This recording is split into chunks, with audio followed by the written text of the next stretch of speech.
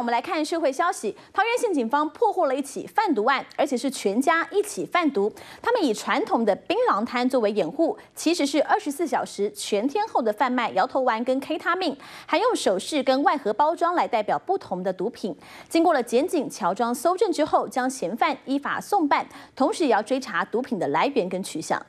桃园县刑大破获家族经营的槟榔摊贩毒集团。警方说，桃园县林姓兄弟涉嫌伙同母亲以及大嫂经营桃园市某槟榔摊，实际上却在贩毒。这些贩毒集团是一个家族式的这个贩毒集团，由他的母亲、还有祖贤、他哥哥，还有他的嫂子，哦，在槟榔摊二四二十四个小时连夜的这个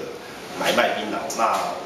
我们在搜证当时发现吸毒者呢，有一些还有是知名的诶公司的副总经理，还有一些酒店的小姐。那平均他买卖毒品呢，诶一个礼拜大概有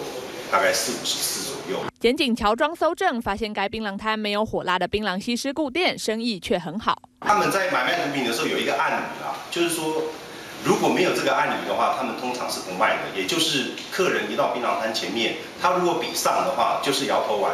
好，比上如果两次就是两份的摇头丸，底下呢，底下一次就是 K 他命一包，如果两次就是两包，然后他会把这冰那个摇头丸或者是这个 K 他命放在槟榔盒里面，掩人耳目。警方表示，该槟榔摊只接熟客生意，手指比天代表摇头丸，手指比地代表 K 他命，单月净利就高达三十万元，全案依毒品罪嫌送办。联合报杨德怡桃园报道。